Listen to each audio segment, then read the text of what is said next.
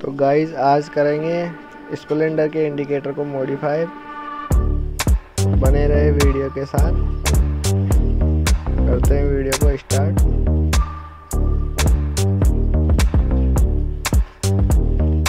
तो सबसे पहले हम इसके ऊपर के कवर को खोल लेंगे इंडिकेटर के कवर को।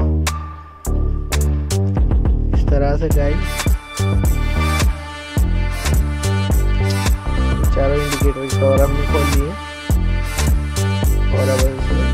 वाइट वाले। सेट करेंगे पहले अपन सेट कर लेंगे। करता हुआ।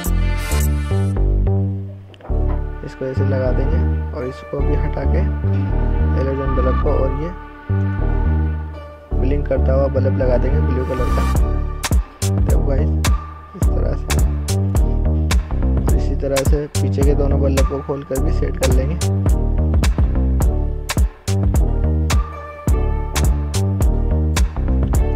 ऊपर ये वाइट कवर लगा देंगे गाइस इस तरह से।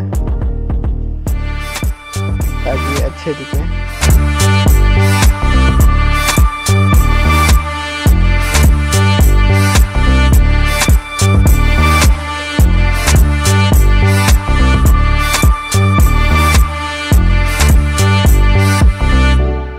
और इस तरह से अपन सारे कवर लगा देंगे। और गाइस अब दिखाते हैं आपको इंडिकेटर जला